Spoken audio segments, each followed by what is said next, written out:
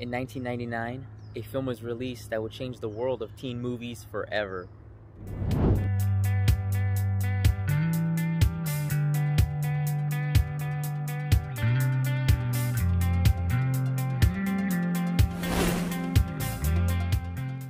What's going on you guys? Welcome back to another video. Today's video brings me to Long Beach.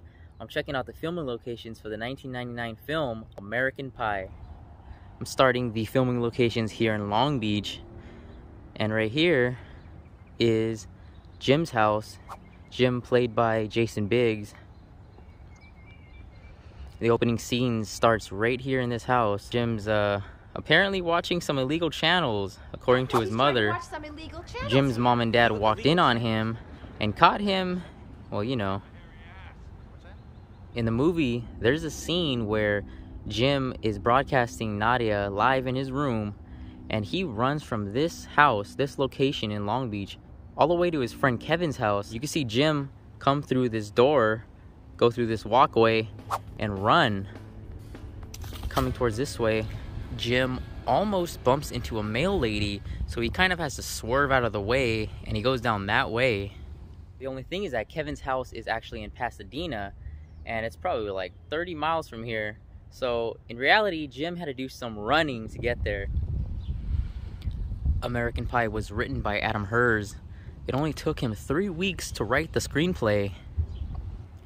The then 26 year old watched Porky's and Bachelor Party to, you know, study and get some pointers off of teen movies back in the day.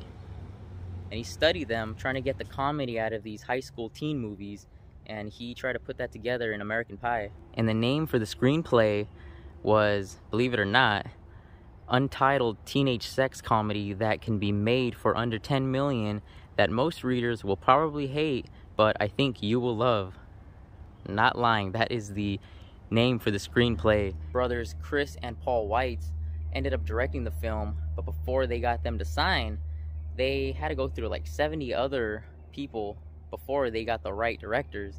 So yeah, that name kind of threw it off. When the movie was being filmed, it wasn't known as American Pie.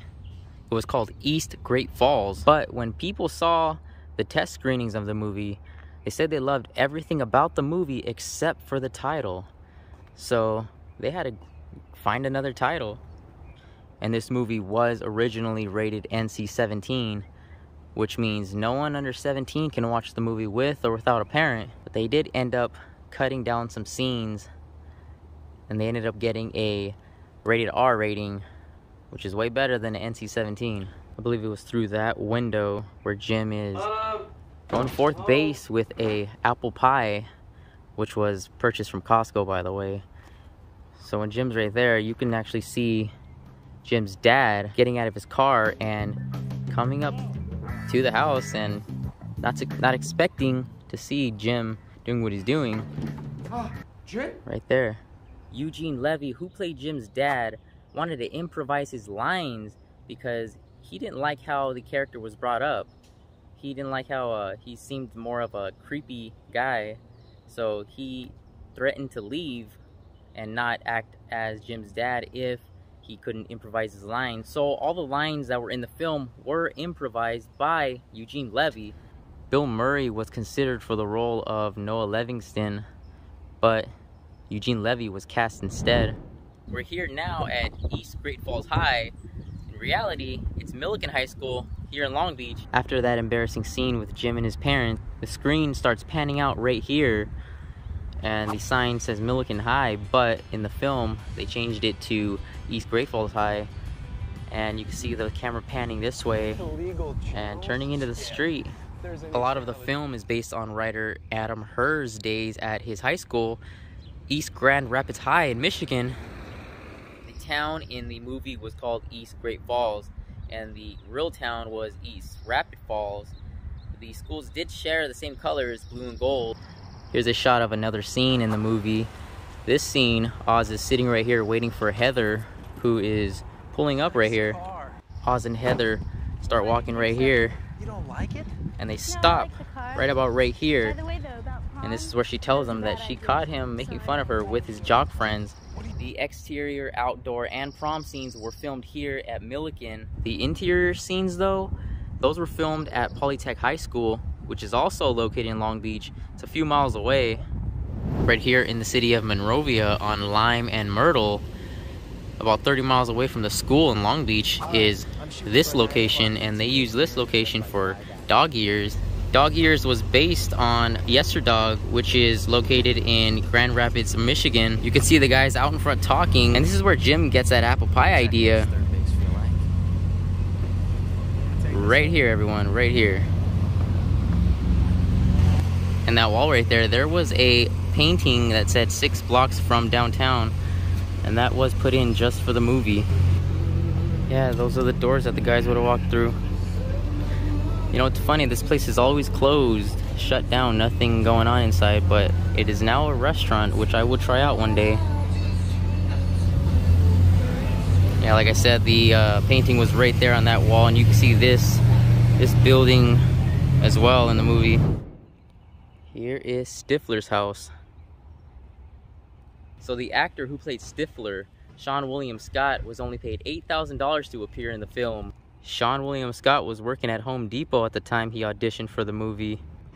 And American Pie was Seann William Scott's first feature role. That $8,000 was bumped up to 5 million by the time he appeared in American Reunion. John Cho was also in this film. You might remember him from Harold and Kumar. He was the oldest high schooler in the movie. Cho was 26 during filming. There is a shot of the house the next morning after the party when the guys are waking up hung over. And this is the house where they all make a pact together. They make a pact, try to get lucky before graduation. Seann William Scott does say that he didn't want his mom to see the movie, but she went to go see it with her church friends.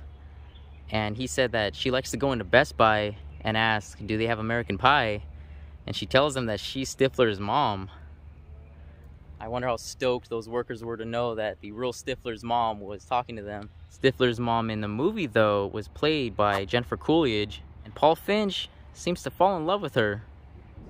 Remember what I said earlier, that Kevin's house is close to Jim's because he can basically run there, but in reality, it is about 30 miles away. So Jim basically comes running down from this way, and when he's running, you can see this house in the background